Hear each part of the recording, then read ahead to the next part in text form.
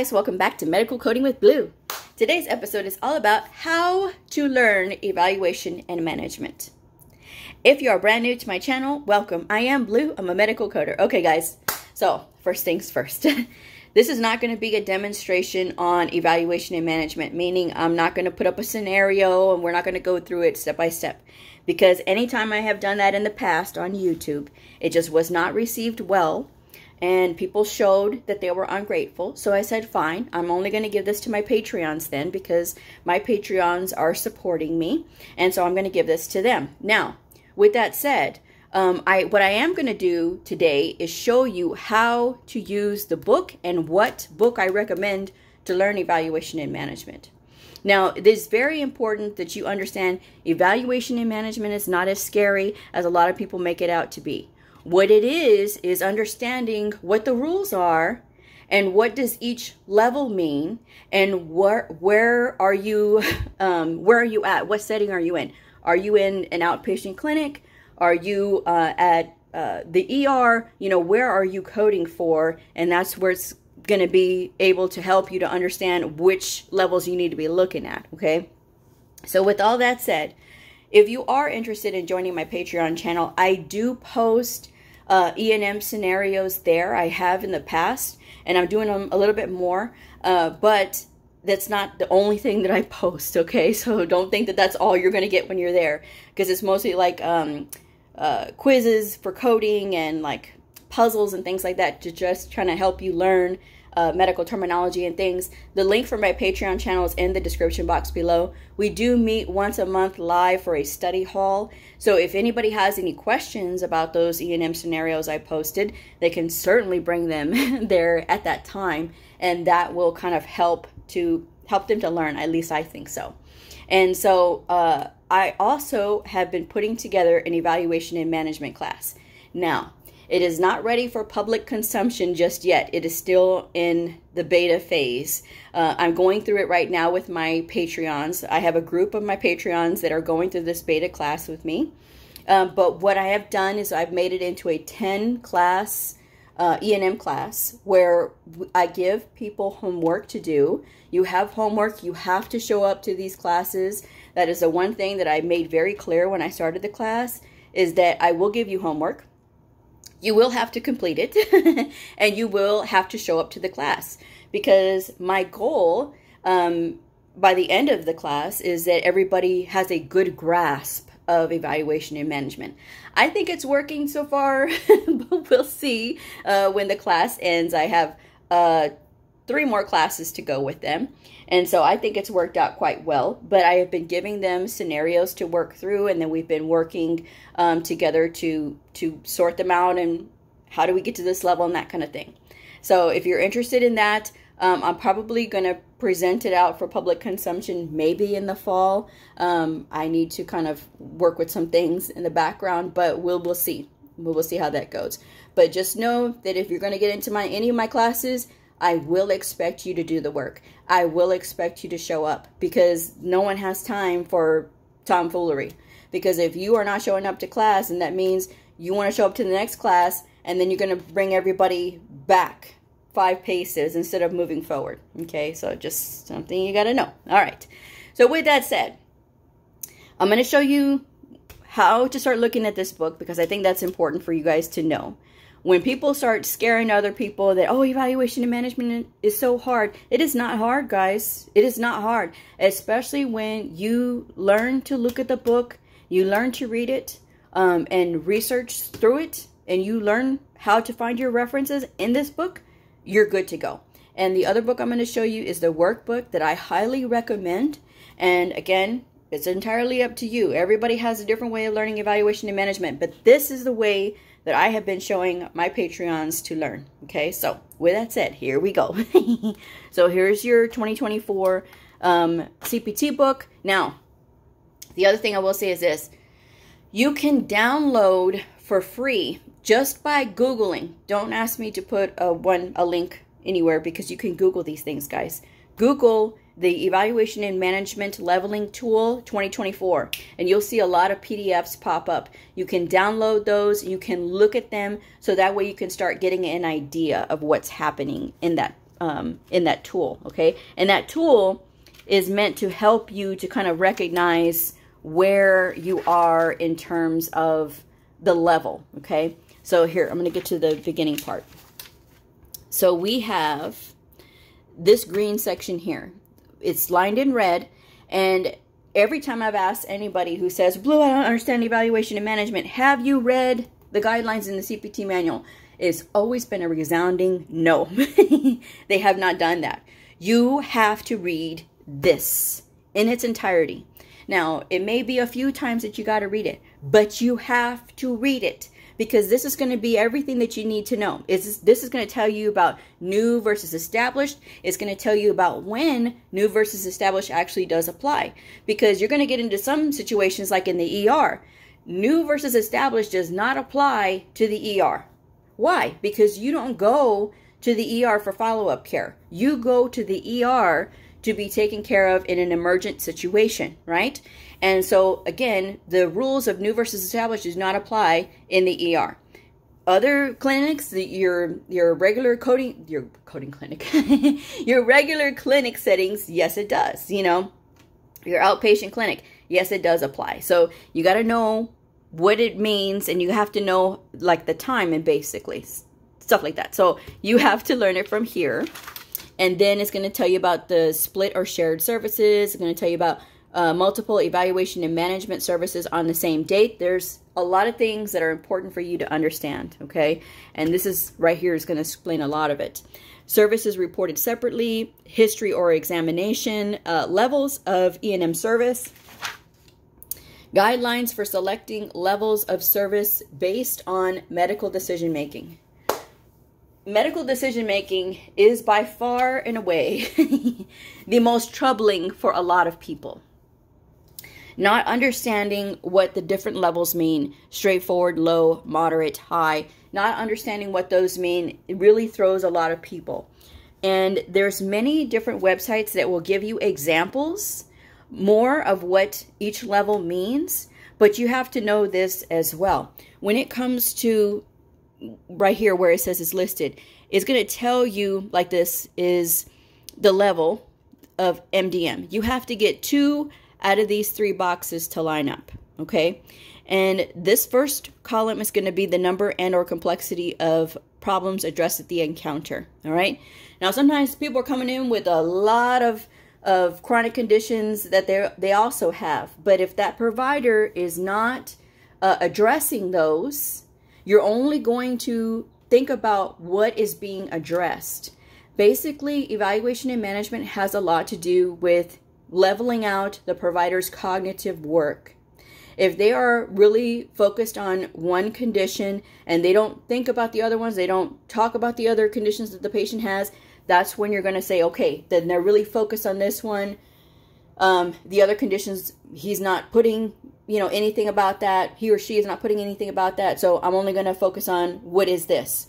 So you you do need to understand what acute conditions are what chronic conditions are. Chronic conditions are things that are going to be long lasting they don't go away overnight. Um, sometimes the patient is going to have these forever right?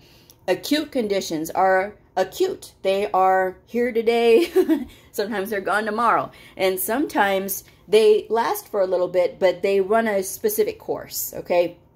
And then they're gone. You know, they're not considered long term or chronic, right? So you do need to understand what those things are. Again, you're going to get all of this information here by reading these guidelines.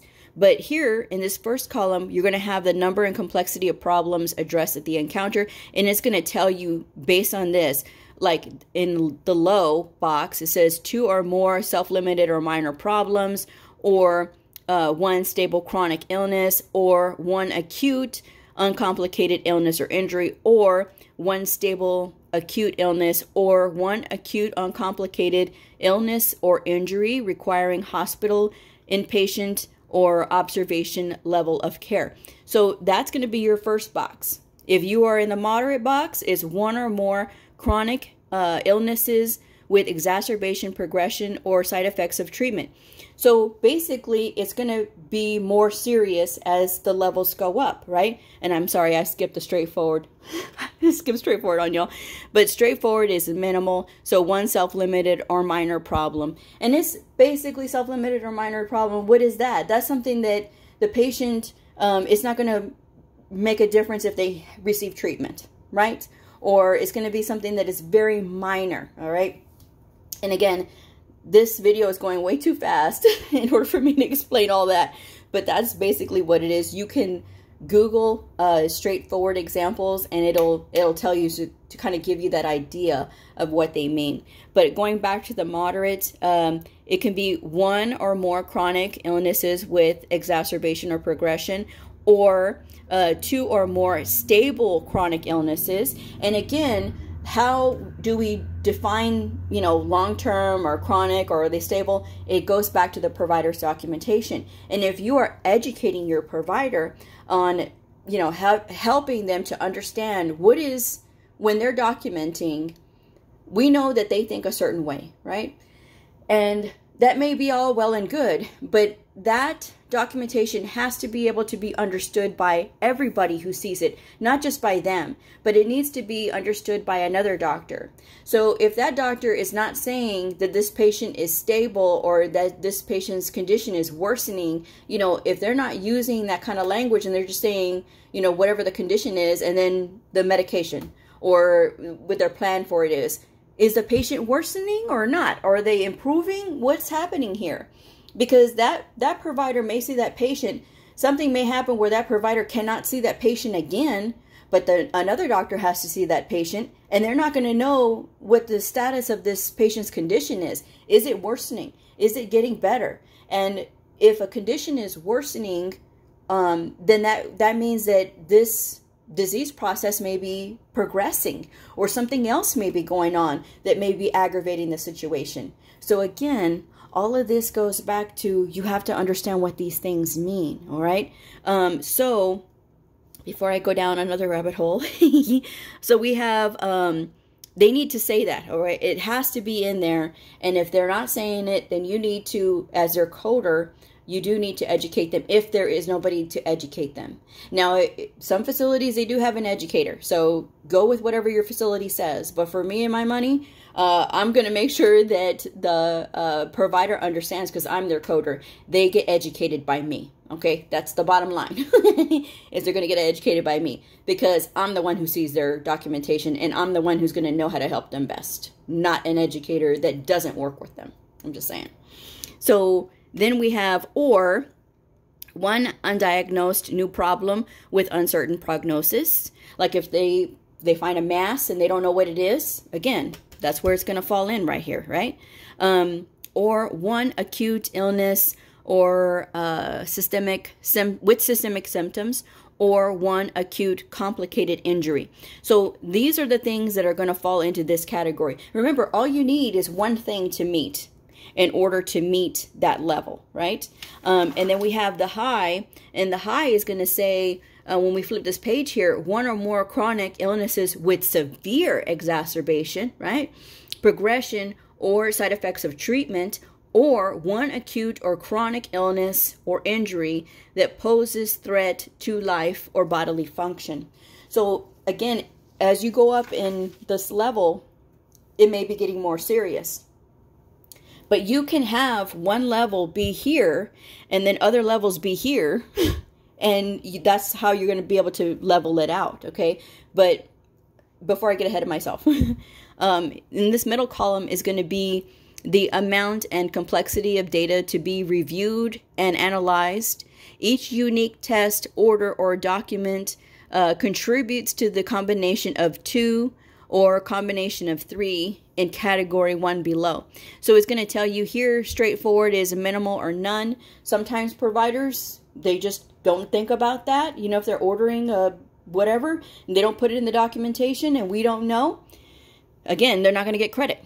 Okay. Um, limited or the slow level is going to be must meet the requirements of at least one of two of these categories. So here's the category one, which is tests and documentation. Any combination of two of the following. So it gives you like review of prior external notes from each unique source or um, review of the results of each unique test or ordering of each unique test. So it needs to meet two out of these three in order to count for category one. And all you need to meet limited is one out of these two. Or it could be an assessment requiring an independent historian. And it says for categories of independent interpretation of tests and discussion of management or test interpretation, see moderate or high. So again, um, if the doctor is having to interpret um, like radiology and things like that, and they do a, um, a personal interpretation, that's going to bring us up to a moderate level. And the, to get moderate, you're going to need to meet uh, the requirements of at least one out of these three categories. So either it's going to be based on the tests, the documents, or the independent historian, any of these any combination of three of the following. So they have four listed here. And it's uh, a matter of time. I'm going to speed this up. but um, any of these, any combination of the three out of the four, uh, category two is independent uh, interpretation of tests. If they read a radiology read and they say, I independently interpreted this and I saw this, then that makes them eligible for this category two, right? And all you need is one out of these three. Uh, the third option is discussion of management or test interpretation. Discussion of management or test interpretation with external physician or other qualified healthcare professional. Um, appropriate source not uh, separately reported. So it's got to be one out of these three. If it is high, it's going to be it's going to have to meet two out of these three, right? And so that's going to be extensive. So if there's like a lot of tests that are ordered and interpreted and that kind of thing, but you have to meet each one of these, and um, maybe they did an independent interpretation of test and they get two out of three, that could be a high. Okay. Um, or if they had to do a discussion, again, it could also be high there. Okay. But you got to meet two out of three. This is one out of three, and this is one. um, and this is none, okay? Then we have our risk of complications and or morbidity or mortality of the patient management, right? So we have, in the straightforward, we have minimal risk of morbidity, which means they're not going to pass away if they don't get treatment, right? From additional diagnostic testing or treatment. The low, see, it doesn't have any examples listed, but these examples are not meant to be all inclusive, okay?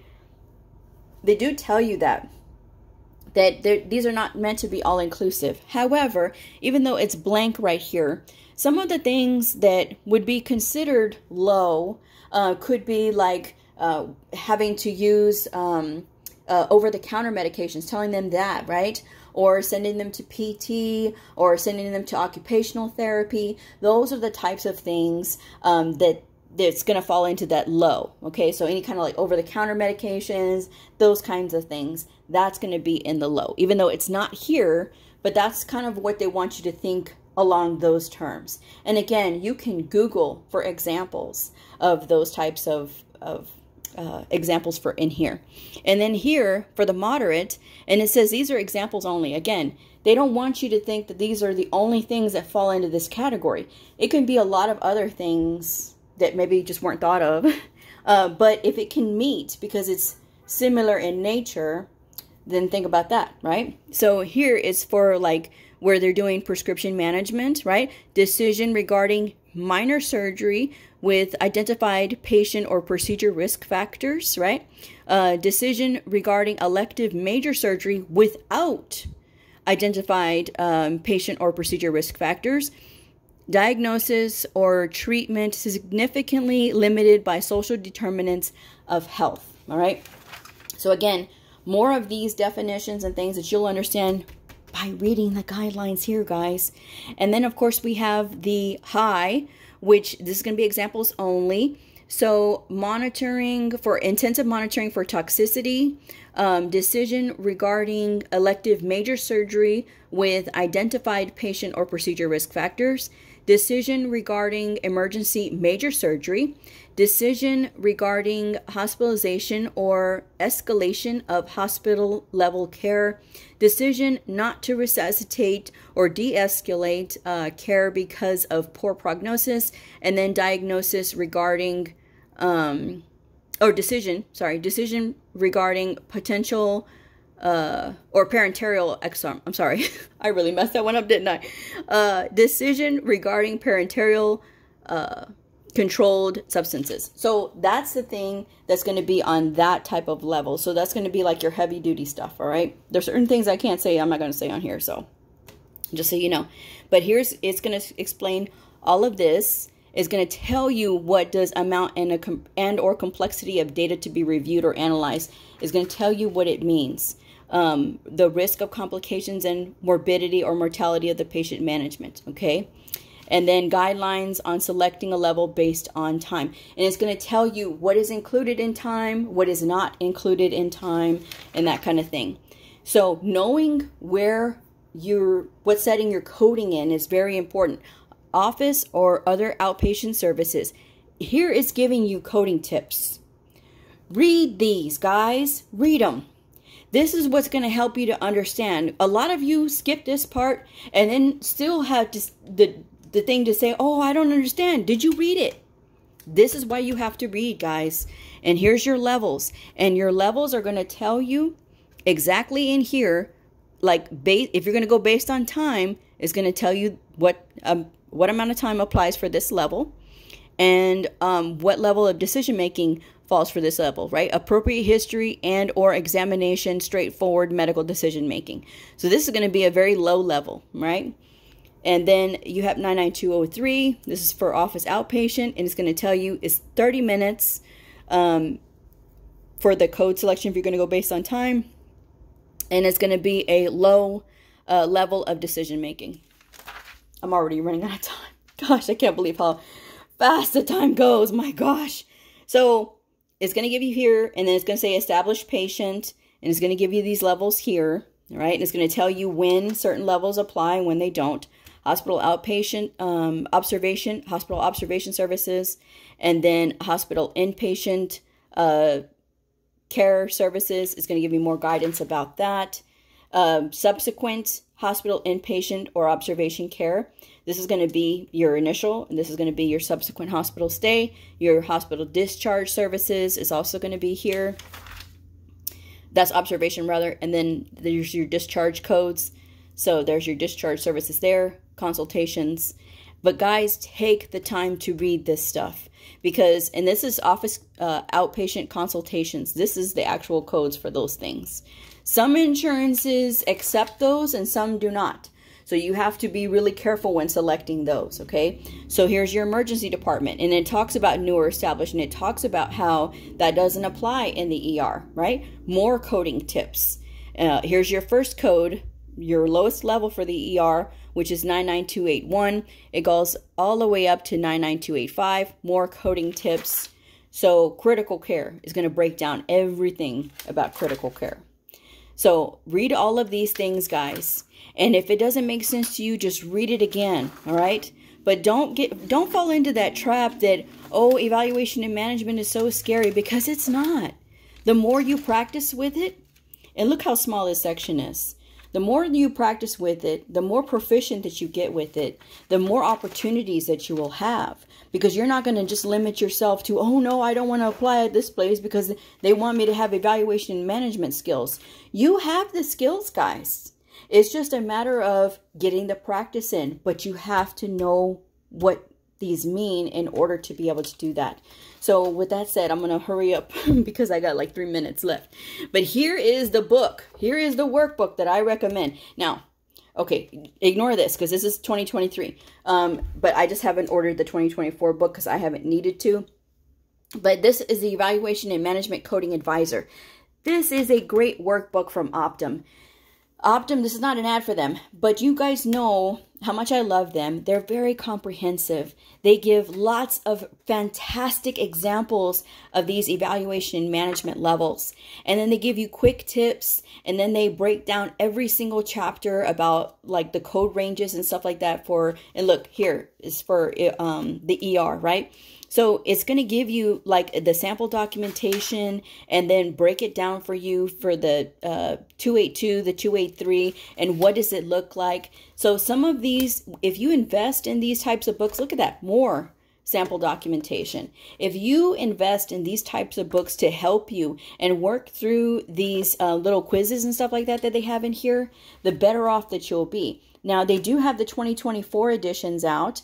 Uh, you can use, you know, older books if you want to. Uh, if you have the 2023 CPT book, because that's all you have right now, but you're ordering the um, the 2024 um, Optum book, it's okay, guys, because again, it's just getting you the practice. Now, Optum is not selling in 2023 anymore because we're already in April of 2024. So they're not selling the 2023 editions, but they do have reasonable um, cost for for this book for the 2024 edition. Okay, so check it out, get it. Um, if you can't afford it right now, go to your public library, especially if you live in a big city. You may be able to find this book. You may get lucky and you may find this book. Okay, check it out see if you have it at your public library if not order it from optum it is a great investment in you. It's going to help you to better understand because trust me, if you go through this whole book, you'll understand all the settings and you will understand what it takes to meet this. Now, you may not be swift in it, you may not be as proficient in it, but you will have a greater understanding versus running around and not really knowing what to do. I'm telling you, this is how you do it. You practice with this, you review those guidelines, and you look at those E&M tools to see what it all entails. So that way you can start spotting it when you are working through those scenarios because it will get easier with time. Okay. And that's just my advice anyway. So with that said, um, I hope this kind of gives you some direction, especially if you are studying on your own, uh, like on how to, you know, uh, work through this and learn evaluation and management. It is possible, guys. You know, you just have to put a little bit more effort into it. If you need help, if you are stuck, if you need a tutor, there's a ton of tutors on LinkedIn. My calendar is presently closed um, for all services right now as I am completely booked. Um, I will open up again in September. So if you're interested then, you know, please reach out then. But with that said, um, I hope this helps. And if this video helped you, please like, subscribe, and share. And I will see y'all next time. Bye.